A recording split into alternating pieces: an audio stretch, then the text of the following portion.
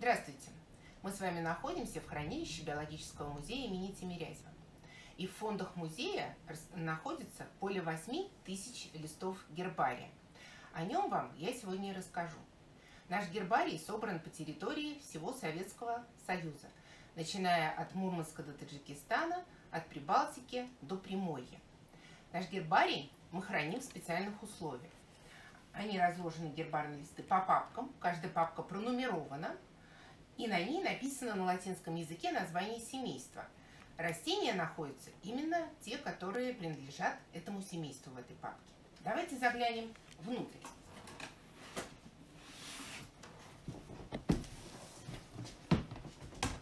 Внутри находятся гербарные листы, но они одеты в специальные рубашки. Первая рубашка крафтовая. Она нужна для защиты листа и для того, чтобы можно было нанести на нее какую-то информацию. Дальше идет слой газеты обязательно. Он нам необходим, во-первых, для впитывания излишков флаге, а во-вторых, типографская краска содержит много ядовитых веществ, которые очень не любят насекомые-вредители, которые с радостью полакомились бы гербарием. Гербарий в основном собирают наши сотрудники в последнее время, а вот раньше, в 50-х, 60-х годах, большое количество гербарных листов нам передавали научно-исследовательские институты, совхозы, колхозы, Всесоюзный институт лекарственных ароматических растений, Московский государственный университет. Престижным считалось хранить свои гербарии в фондах музея. Давайте посмотрим на старые образцы. Я вам хочу показать самый старый гербарий, который хранится в нашем фонде. Ему 150 лет. Посмотрите, как хорошо выглядит растение. Сохранена окраска листьев и цветков. Интерес представляют материалы московского региона, особенно при отсутствии регионального музея природы. В музейном гербарии собрано более 500 видов растений Московской области, и оформлены они на двух тысячах э, гербарных листов. К особенно ценным коллекциям относятся мемориальные гербарии, собранные в XIX – начале XX века.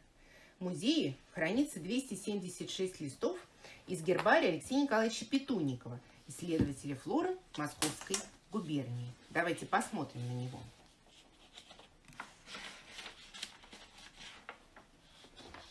Этому гербарию более 100 лет – но посмотрите, как хорошо он сохранился. Этикетки написаны рукой самого ученого-ботаника.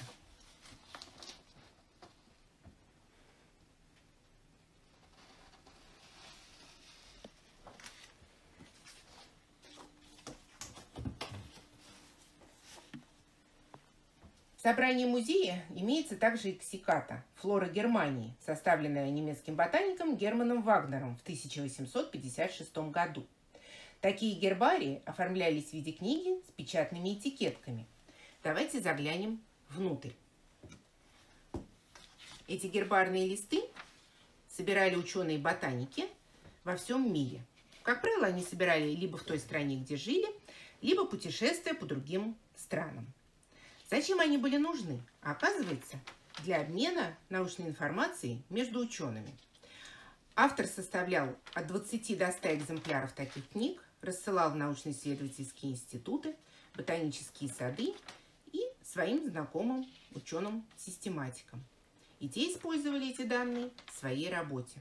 Потому что далеко не всегда в 18-19 веке каждый ученый мог путешествовать по тем местам, которые ему были интересны с научной точки зрения.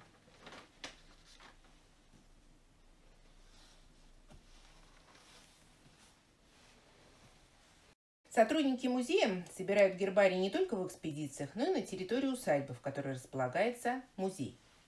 Собирают они в течение многих лет. Причем как дикорастущие растения. Посмотрите, галензога э, встречается повсеместно по всей территории Москвы, в том числе на территории нашего музея. Около 50 лет назад был собран подорожник обыкновенный, который тоже в большом количестве растет на территории усадьбы. Так мы гербаризируем растения, которые посажены специально, то есть декоративные. Например, рейнутрия. Таким образом, мы документируем состав флоры на данной территории. Гербарий из фондов нашего музея вы можете увидеть в а также очень часто мы используем его в наших выставочных проектах. Приходите к нам в музей. Спасибо за внимание. До новых встреч!